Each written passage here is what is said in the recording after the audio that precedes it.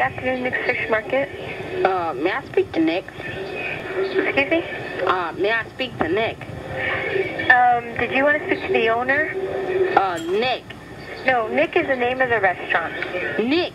Why the hell you call it Nick's Fisherman Market? Ma'am, would you like to speak to an owner? No, I want to speak to Nick. Well, I'll let you speak to the owner, okay? No, I want to speak to Nick.